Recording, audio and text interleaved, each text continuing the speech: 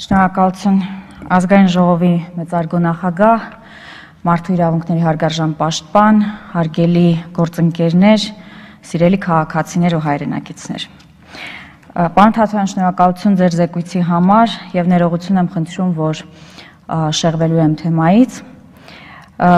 Սակայն կարևոր ենք համարում, իմ քայլ խմբակցությունը կարևոր է համարում առանձնահատուկ անդրադառնալ ուրբաթ օրը տեղի ունեցած միջադեպին։ Մենք արդեն դատապարտել ենք տեղի ունեցած միջադեպը, դատապարտել ենք այն, որ իմ քայլը խմբակցությունը տրվել է սադրանքի, դատապարտել ենք, որ անկախ տեղի ունեցող երևույթներից, անկախ սադրանքից, մենք իրավունք չունեինք, իրավունք չունեինք մտնել այդ դաշտ, բայց միևնույն ժամանակ մենք դատապարտում ենք նաև մարդու արժանապատվությունը հետևողական կերպով ոտնահարելը ամիսներ շարունակ ոտնահարելը եւ կոնֆլիկտներ հրահրելը։ Հիմա ես ուզում եմ բոլորիս հիշեցնել, հարգելի գործընկերներ, ու նաև Հայաստանի Հանրապետության քաղաքացիներին եմ դիմում այս պահին, եւ ուզում եմ հիշեցնել, թե այս վերջին վերջին չէ, ի սկզբանե ամիսների ընթացքում եւ հատկապես վերջին շրջանում ինչ է տեղի ունեցել, ինչ ժամանակագրությամբ, ինչ ինչ գործողություններով։ Ես ուզում եմ հիշեցնել, ով էր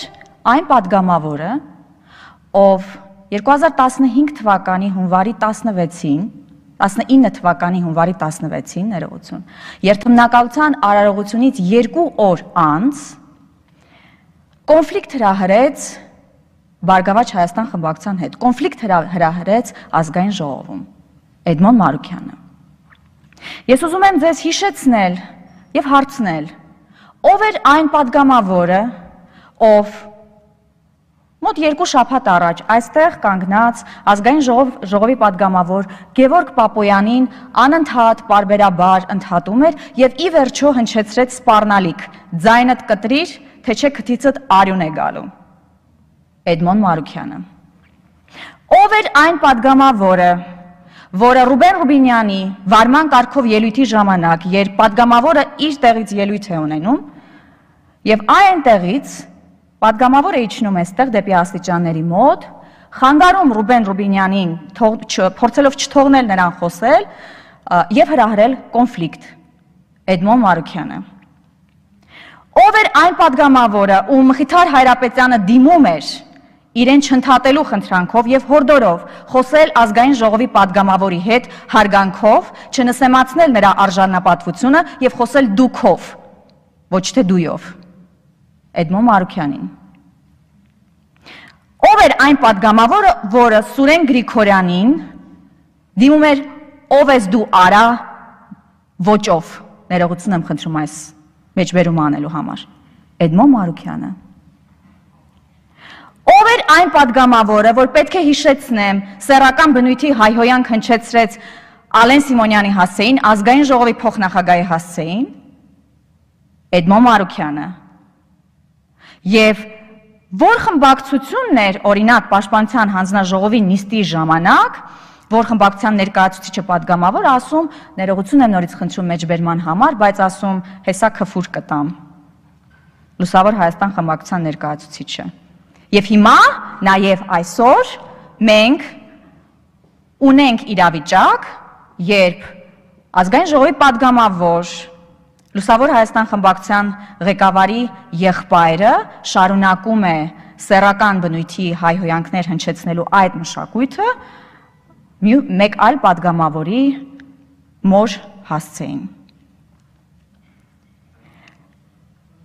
Հիմա անդրադառնալով եւ վերհիշելով այն օրվա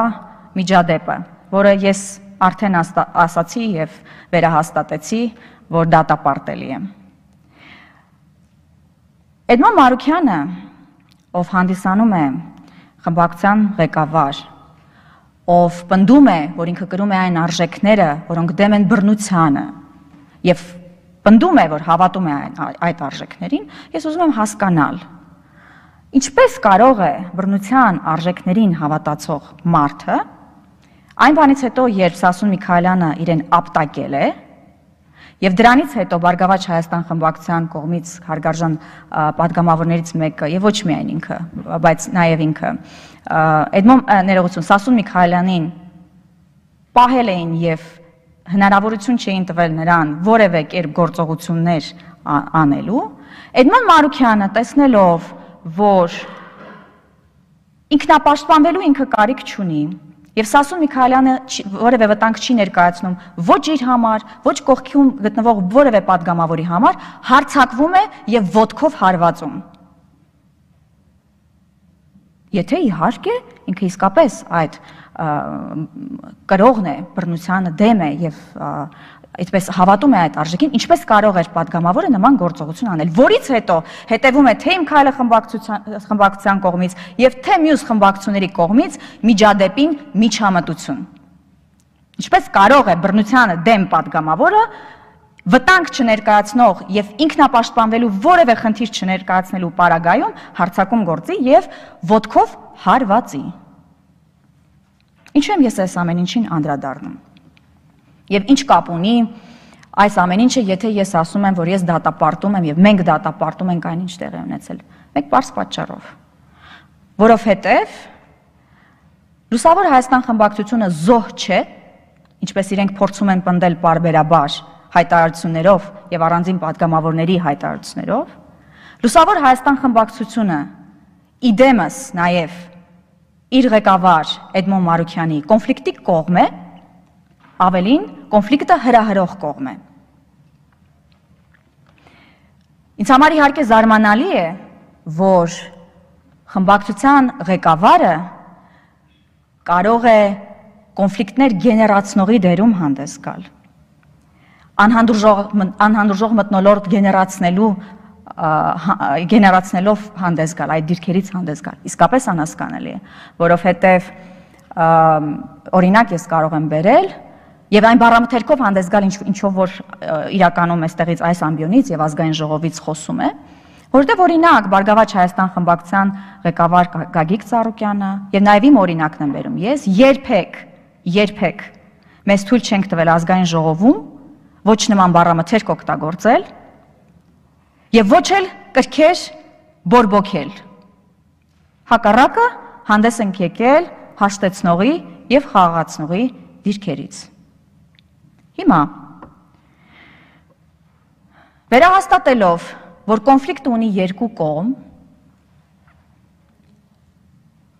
մենք գտնում ենք, որ այո, այս ամենը հարթելու համար եւ թույլ չտալու համար, որ เป զի հետագայում նման միջադեպեր կրկնվեն,